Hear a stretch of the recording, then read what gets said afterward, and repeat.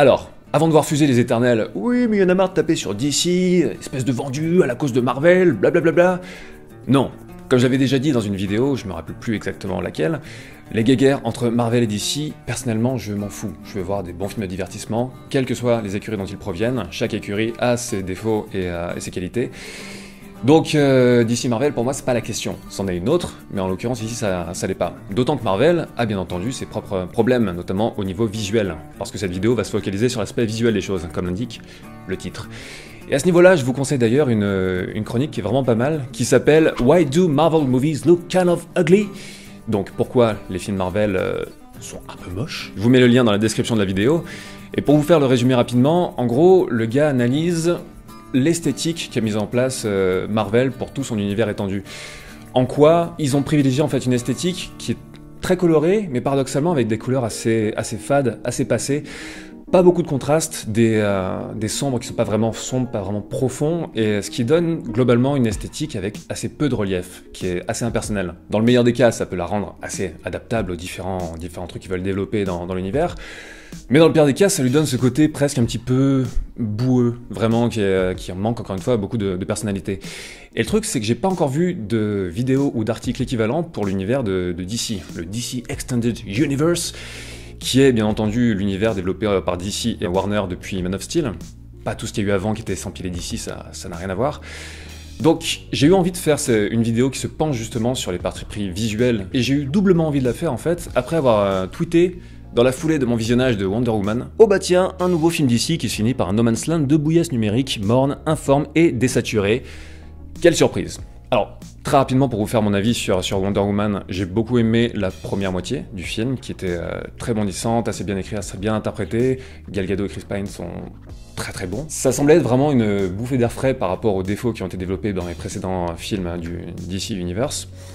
Et la deuxième moitié se banalise énormément, notamment dans, dans l'esthétique, dont, dont, je vais parler maintenant, et aussi au niveau du, scénar, notamment avec tout le truc autour de euh, l'amour sauvera le monde. Alors c'est pas le problème, symboliquement c'est beau à la base, mais le traitement que lui donne le film, ça tombe dans une naïveté incroyable, qui est à l'image finalement de Wonder Woman dans le film. Mais il y a un moment à partir duquel on peut plus juste donner dans le simplisme parce que ça fait écho au personnage. Là c'était assez dommage, d'autant que le film tombe même dans quelques trucs assez nanardesques. Big up à la moustache de David Thewlis, vraiment. Pourtant j'adore cet acteur, mais là y a un moment c'était juste pas possible. Je partais vraiment sur très très bonne base et après j'ai eu un petit peu une sensation de gâchis sur la dernière partie du film. Après bien entendu c'est super cool d'avoir euh, un personnage féminin principal, fort, solaire comme, Wonder Woman. Mais voilà, ça c'est plus, on parle plus du, du film lui-même quoi. Et donc, pour revenir à ce tweet, j'ai eu quelques réponses dans la foulée, parmi lesquelles, comme la plupart des films de super-héros, faut arrêter de toujours taper uniquement sur DC. Un argument classique, il finit comme la plupart des films Marvel quoi. C'est le climax en combat, rien de choquant pour ce genre de film. Et enfin, la petite sucrerie, c'est votre opinion, peut-être que d'autres ne sont pas du même avis. Oui non mais je me doute, c'est pas l'opinion du pape, oui, c'était pas la question. Mais bref, je parlais bien entendu pas du fait qu'une grosse production à grand spectacle se termine par de la pyrotechnie. Ce dont je parlais, c'est le traitement qu'en fait DC, sa manière d'aborder le, tout numérique et la, la pyrotechnie finale. Et j'ai vraiment beaucoup de mal avec ce, ce qu'ils ont développé. Après, je sais pas exactement comment ils fonctionnent. J'imagine que Marvel et DC n'ont pas recours aux mêmes boîtes d'effets spéciaux pour tout gérer. Mais la manière qu'a DC de le traiter me laisse toujours cette impression bizarre de grosse bouillasse grisâtre sans personnalité qui fait cinématique de jeux vidéo de bonne qualité, mais qui en tant que film me laisse vraiment sur ma faim parce qu'il y a toujours cette esthétique vraiment de terrain vague qui pourrait être absolument n'importe où, avec ses doublures numériques, ces surhommes, ces surfemmes qui se battent contre des créatures numériques, et il y a ces sempiternelles explosions magnétiques bleutées. Après, c'est super subjectif, bien entendu, tout ça, mais c'est justement un des, trucs sur lesquels Marvel est un peu plus fort, je trouve, où ils, ont mieux trouvé leur, leur ton, c'est que Marvel, au sein du tout numérique et du ce qui pourrait être écrasant et un truc incroyable numérique en plus, ils arrivent mieux à garder l'élément humain au milieu, quitte à faire un peu trop d'humour à certains moments. Tandis que chez DC, il y a ce côté un petit peu plus euh, surhumain, quasi euh, bataille des, dieux. Et en termes filmiques, c'est un truc qui est fatalement plus, euh, plus plat et prévisible. Après, ceci étant dit, encore une fois, ça n'engage que moi parce que là, on est sur du subjectif pur. J'aime juste pas cette esthétique. Et quand je vois les bandes annonces du futur Justice League, on est en plein là-dedans et ça me, ça me lourde d'avance. Mais quitte à partir en fait de cette esthétique de ce traitement du tout numérique, j'avais envie d'élargir le propos à l'esthétique un peu plus globale du euh, DC Universe. C'est très paradoxal en fait parce qu'en initiant leur univers, DC et Warner ont bien sûr voulu prendre le contre-pied de Marvel pour pas être accusé de les plagier ou d'aller sur leur, sur leur plate-bande. Donc ils ont pris visuellement le parti pris inverse. Là où euh, Marvel est assez coloré mais assez pâle et peu contrasté, au contraire, euh, l'univers d'ici est bien moins coloré, on est sur une palette bien moins large, on est toujours sur des teintes, ou la plupart du temps des teintes assez gris, bleutées, et surtout sur une image qui est très très contrastée, qui a beaucoup plus de relief, ou notamment le, contraste avec les tonalités très sombres et très accentuées. Et ça donne vraiment une image qui est beaucoup plus chargée à la base en personnalité. Et c'est ça pour moi le paradoxe absolu, c'est que ce choix esthétique de DC euh, et de Warner est bien plus ambitieux, il est bien plus chargé en personnalité, mais il me laisse quand même, même par-delà les effets spéciaux, systématiquement cette impression d'avoir vu un gros pâté grisâtre. Et c'est chiant En plus, objectivement, il y a plutôt de la variété dans le visuel. J'ai un souvenir plutôt clair et lumineux de Man of Steel, alors qu'on imagine toujours l'univers d'ici comme un truc super sombre. Batman versus Superman, il y avait aussi pas mal de scènes qui étaient dans des teintes très, très ocre, très, très chaudes. Wonder Woman, notamment toute la première partie qui se passe sur l'île, on est dans des tonalités très, euh, très chaleureuses, très lumineuses vraiment. Donc il n'y a pas que ça. En Suicide Squad, je, je fais l'impasse dessus, hein, n'est-ce pas? Mais globalement, reste quand même cette impression tenace de, gris bleuté morne, systématique. Et j'aimerais me questionner avec vous sur ça aujourd'hui. Parce que la couleur, ben, mine de rien, c'est insignifiant. Comme je le disais dans la, dans la chronique sur les couleurs dans La La Land, les couleurs signifient quelque chose. Que ça soit un purement psychologique, euh, telle ou telle réaction qu'on va avoir à telle ou telle couleur parce que c'est vissé juste dans notre fonctionnement d'être humain, ou même culturellement, quoi. Les, couleurs ont des significations différentes selon les cultures. Le deuil, qu'on soit en Europe ou en Asie, ça sera symbolisé alternativement par le noir, par le blanc, etc. Dans les films, l'étalonnage est super important. Prenez Matrix, si on enlève toute la, tout l'étalonnage verdâtre de toutes les scènes qui se passent dans la matrice, on perd vraiment tout le contraste, bien sûr, avec le monde réel, mais on perd aussi tout ce côté aliénant, dégueulasse. Et toute la charte visuelle du DC Universe, elle a été initiée, bien entendu, avec Man of Steel et Zack Snyder. Donc ces partis pris des Man of Steel ont été assez critiqués, tout ce, côté très très très désaturé en fait.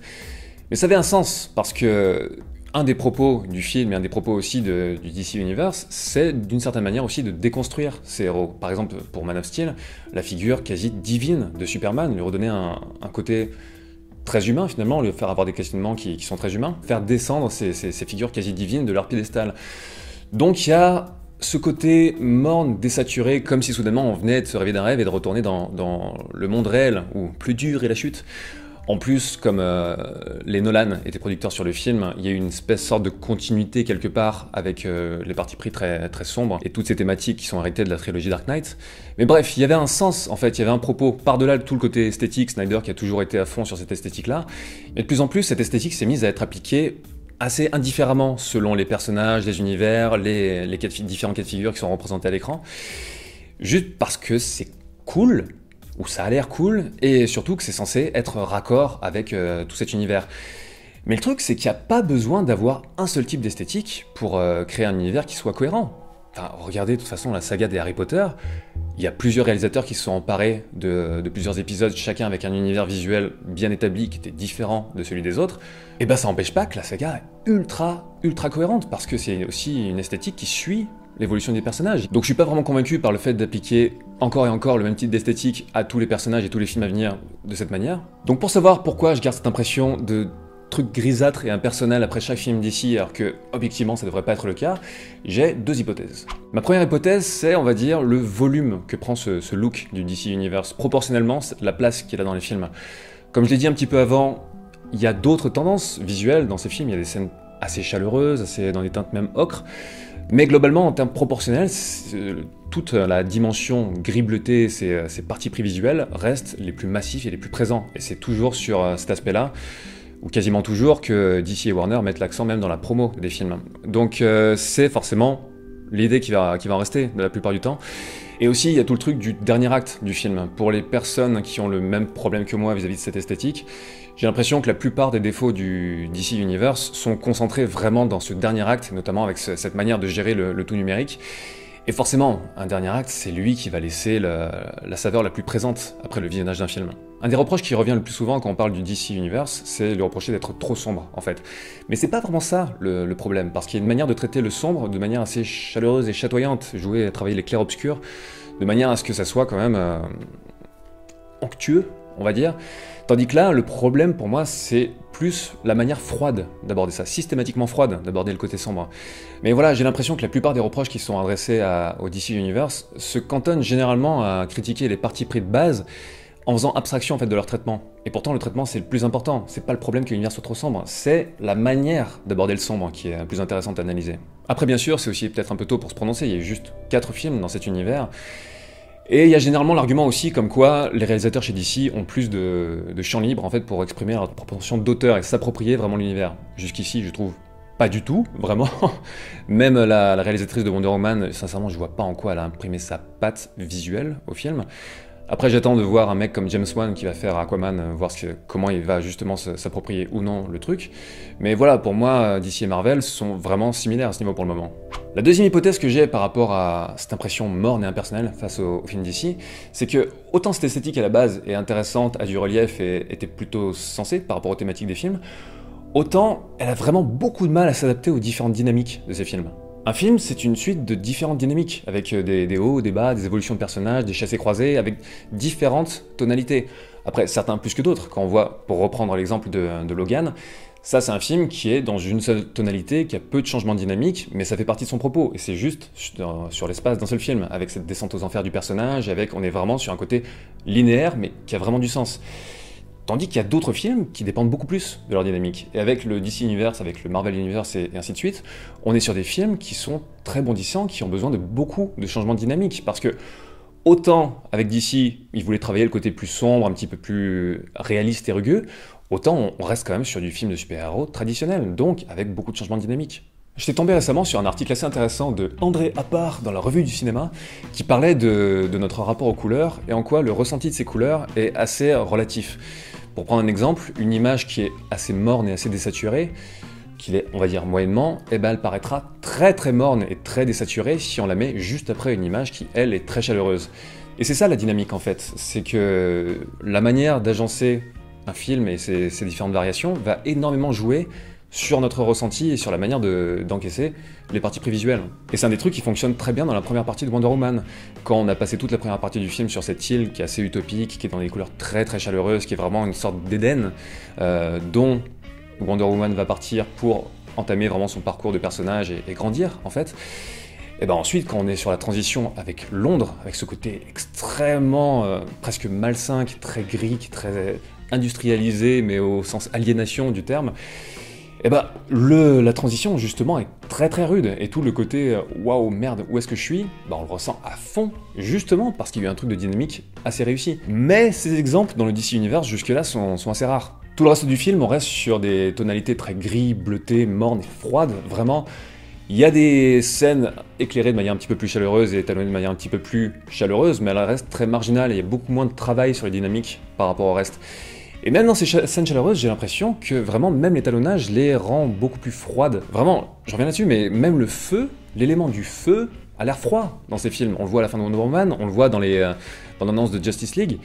Et je me suis amusé juste à prendre la bande-annonce de Justice League à même au hachoir, quoi, juste à la réétalonner un tout petit peu en rajoutant des, des teintes orangées euh, un petit peu plus chaleureuses. Après, encore une fois, c'est super subjectif, mais perso, ça me convient beaucoup plus. J'ai l'impression que là, il y, a un peu plus de, relief, un petit peu plus de contraste entre les éléments froids et les éléments chauds, on n'est pas juste dans, du froid. Après, je sais pas ce que vous en pensez, mais c'est marrant parce que dans la vidéo que je vous ai conseillée en début de, chronique, celle sur, Marvel et pourquoi Marvel c'est un petit peu moche à certains moments, pareil, le mec préconise le fait de rajouter de la chaleur et, euh, des teintes orangées. Et autant, c'est rigolo en fait, parce que autant Marvel et DC ont deux partis pris esthétiques qui sont quasiment diamétralement opposés, autant on a presque envie de leur apporter la même modification. Donc pour terminer, je crois que c'est un petit peu ça mon problème avec l'esthétique du DC Universe jusque-là, c'est que c'était une bonne idée à la base qui, si elle continue à être traitée comme ça, va devenir définitivement une fausse bonne idée. Elle est beaucoup moins adaptable aux différentes variations de ton, ce qui donne ce côté euh, cul entre deux chaises. Après, la situation est aussi compliquée pour DC. Ils sont arrivés bien après Marvel, et j'ai l'impression que ça fait des années qu'ils essaient de démarrer une voiture, qu'ils passent le starter, ils n'arrivent pas à les démarrer en fait. Et puisqu'ils ont dû faire certains choix, vraiment pour se différencier forcément de Marvel, c'est comme si sur certains points ils s'étaient acculés vraiment à cette charte graphique et, visuelle et qu'ils n'arrivaient plus à s'en dépêtrer suffisamment au moment où il faudrait s'en dépêtrer pour livrer des films bah, qui ont besoin d'un peu plus de, de diversité de traitement. Ce qui fait que paradoxalement, à force de vouloir se différencier de Marvel, eh ben, ils se sont cantonnés à rester, pour l'instant en tout cas, dans, son ombre constante.